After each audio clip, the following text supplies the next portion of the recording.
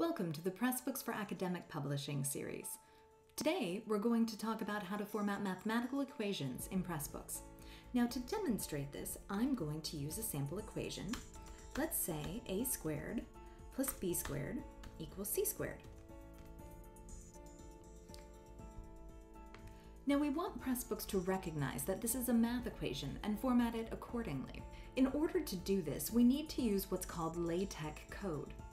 The carets are LaTeX symbols. To learn more about how to style your equations using LaTeX, go to Settings and PB LaTeX. Now, back to our sample equation. To make this look like an equation, we need to add the LaTeX shortcode around it. We do that like this.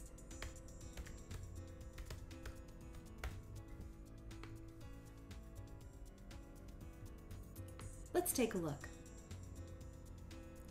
You can see that Pressbooks recognizes now that this is a mathematical equation and has formatted it accordingly. Now in this example, you could also just have superscripted the squared signs, but you may have more complicated symbols where that might not be the case. In order to get your math formula onto the web, you'll need to use special code. Here's a cheat sheet we like from Brown University.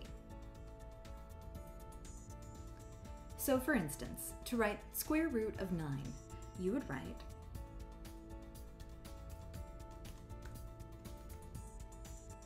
Then you would wrap that in the shortcode.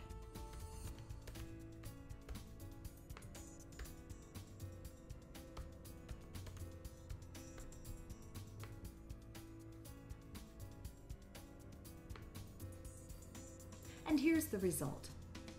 For more help using mathematical equations in Pressbooks, email support at pressbooks.com.